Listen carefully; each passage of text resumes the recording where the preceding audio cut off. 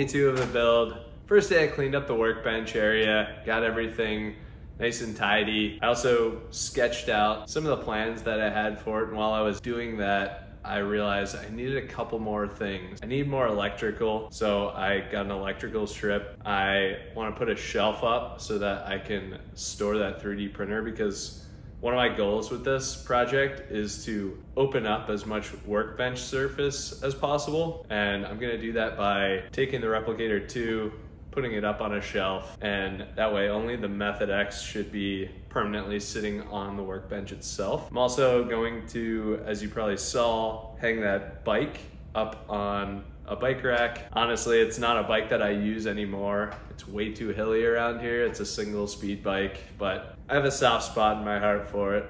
I used it a lot when I lived in New York City, so I want to keep it around and uh, maybe make it a little bit of nostalgic decoration um, above the workbench. So let's go ahead and uh, let's get started on that.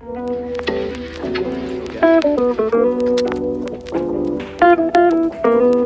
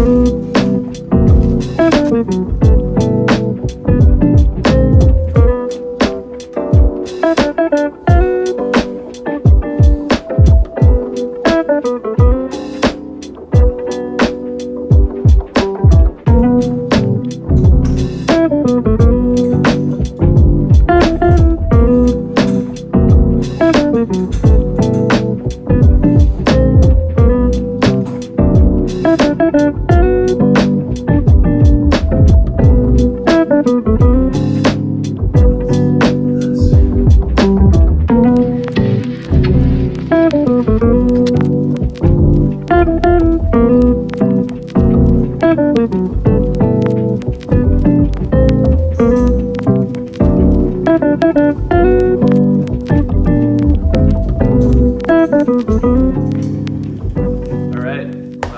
about does it for today. Yeah, I think it was overall a success. Uh, it actually took me more like a week after the cleaning video. I picked up a shelf, got a power strip, got a few other things. So, you know, movie magic. But hopefully you guys enjoyed this video. Like I said, I think everything came out pretty well. Got the lights up, got everything clean got the uh, printer mounted on the shelf and just waiting for one more thing which is the bike rack mount took a little bit longer to get here than i thought so we'll have to do a part two. But yeah hopefully you guys like the video. Don't forget to like and subscribe and we'll see you next time.